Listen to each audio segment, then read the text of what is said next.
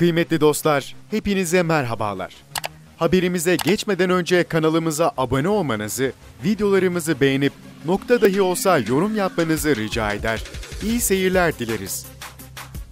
İşgalci İsrail'e bir şok daha. Lübnan'dan roket saldırısı. Değerli izleyenler, İsrail televizyon kanalının aktardığına göre Lübnan'dan İsrail'e roket saldırısı düzenlendi. İlk bilgilere göre demir kubbe saldırıyı önleyemedi ve 37 İsrailli yaşamını yitirdi. İsrail ordusu Lübnan'dan ülkenin kuzeyine 3 roket atıldığını bildirdi.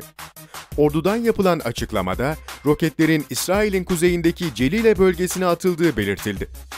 Roket atışları nedeniyle demir kubbe hava savunma sisteminin devreye girmediği ve sirenlerin çalmadığı ifade edildi.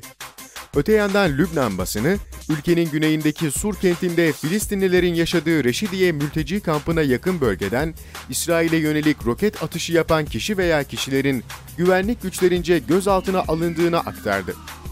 Kaç kişinin gözaltına alındığı ve Lübnan vatandaşı olup olmadığına dair henüz bilgi verilmedi.